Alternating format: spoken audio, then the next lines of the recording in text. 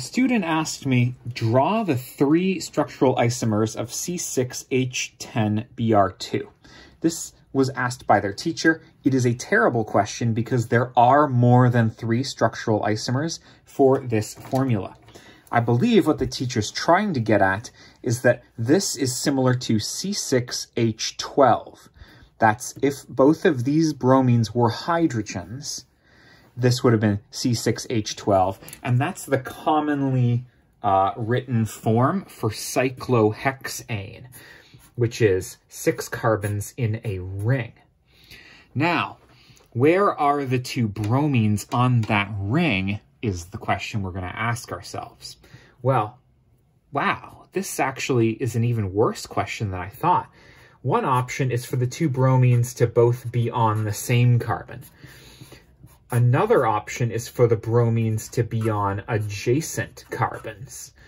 Another option is for the bromines to be on uh, like carbons 1 and 3 if you started to count around the ring. If you're into benzene, which this is not, then that would be like ortho meta, and this would be called para. But you can't do that here. Oh, there's actually four structural isomers of this that have this ring in it.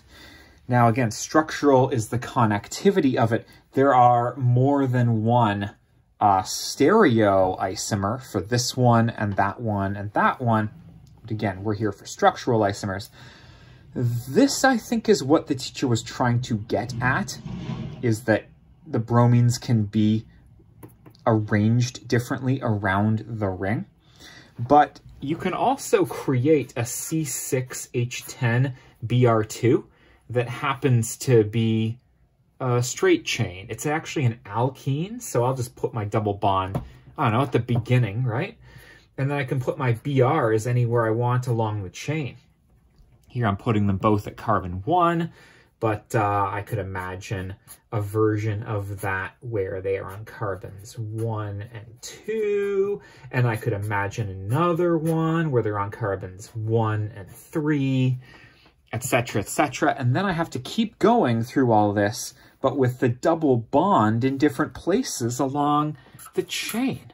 I don't know how many uh, structural isomers there actually are for this, if your teacher's asking you draw the three structural isomers, they're out to lunch. Here's a good place to get started.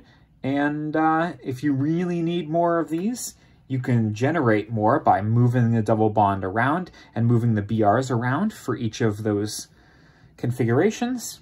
Um, and if you really need all of them, drop something in the comments and I'll make you a new video. Thanks for being with me, and best of luck.